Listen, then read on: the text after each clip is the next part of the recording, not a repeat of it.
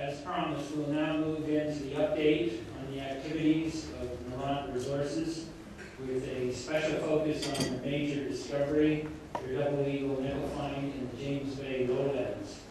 Noront has prepared for us this week a video, very current, which we will review. And then after the video, with no other further introductions, Mike White, Vice President of IBK Capital, come to the podium, and from a stock market point of view, we'll also update all of you in terms of the uh, Noront resource opportunity. Uh, As a, as a comment, IBK is delighted to be on the Noront team. We're a financial advisor to Noront along with JP Morgan Securities, Inc. And uh, over the last 14 months, IBK Capital has raised $61 million for Noront by way of private placements of equity, which will increase to 77 million uh, next week with the exercise of the accelerated warrants, which were attached to the financing uh, to uh, about a month ago now. So uh, Noront has raised 77 million on the strength of this uh, discovery. Uh, Noront is undervalued at current stock prices, and we hope that by updating you, you'll go away with a very clear understanding as to why we feel that way. The Ring of Fire as a overall mining camp now involves just over 20 junior mining companies.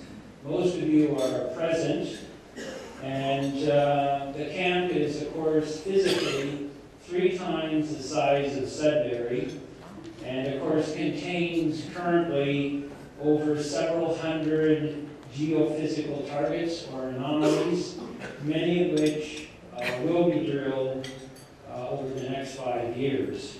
So without any further delay, I would ask that the people managing the electronic equipment please roll the video.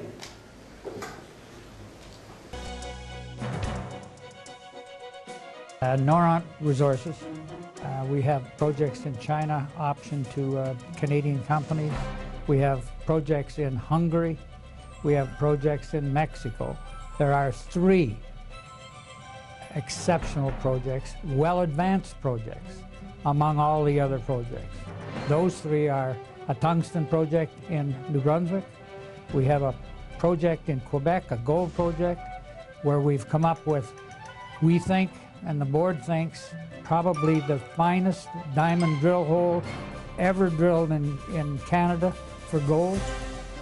Almost 16 feet of 52 ounces to the ton in gold. The third project, and the, the one that's caught the public's attention and made us the talk of Bay Street, is our Double Eagle project.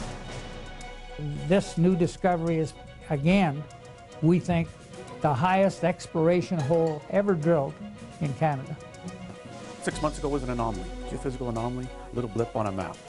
Uh, you know, convinced the management to go in there and drill a, a test hole into it. Uh, we came up with, the first hole was into massive sulfides, uh, nickel-bearing massive sulfides. Uh, the, you know, a few holes later, we got probably one of the highest grade nickel holes recorded in Canadian history. This nickel occurrence also had platinum group elements in it, plat rhodium, platinum, palladium, all the other PGEs we call them. Uh, they're all in there, making the, the value of this rock extremely high. Target Eagle 1 was the first target we drilled and, and that uh, in last August, so we spent the, the rest of the year drilling it off. Now we're ready to start moving out on the other targets, which look just as good.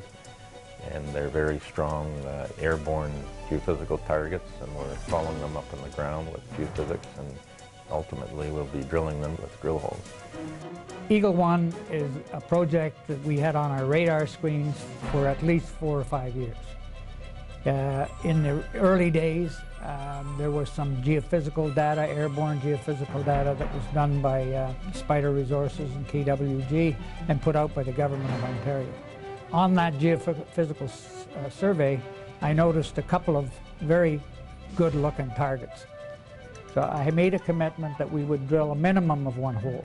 We budgeted around $400,000, went in and drilled the first hole, and we got lucky. The head of the whole group is Dick Nemis, our president. He's a lawyer by trade uh, and uh, has kept the whole Noront company alive um, through many, many years of good times and bad times. John Harvey was uh, ex-president of uh, Explorations. He's retired from that, and he came on to us as a consultant to the board, uh, giving us some guidance once we got into Eagle One.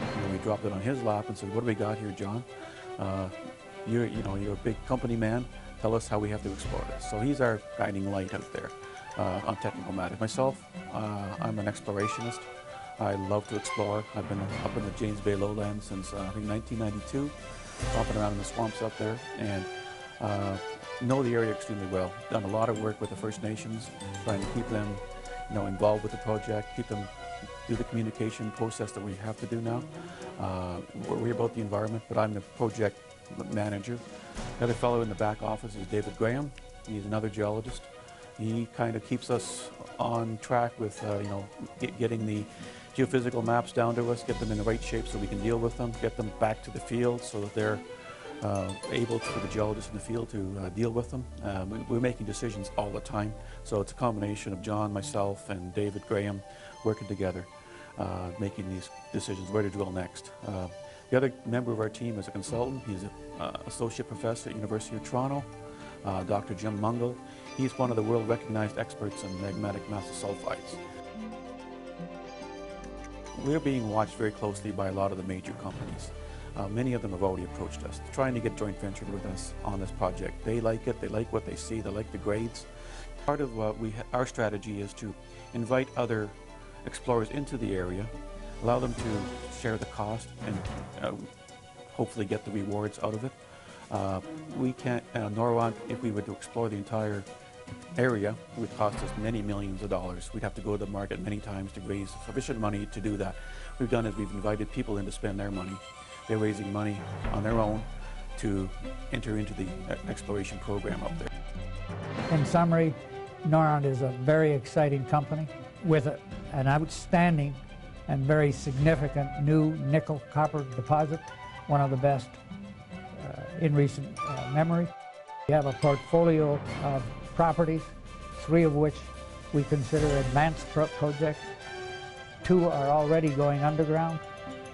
Our strategy of optioning our land position, since it's such a large land position, is going to pay off uh, with millions upon millions of dollars being spent on our ground.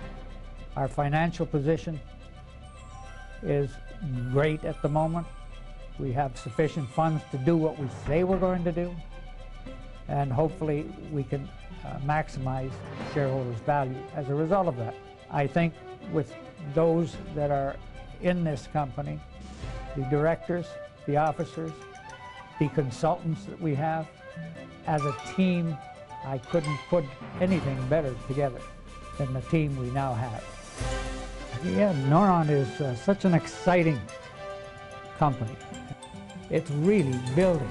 You can feel it in the air here. You can feel it with all of the people in here. We're excited about this. This could be the granddaddy of them all.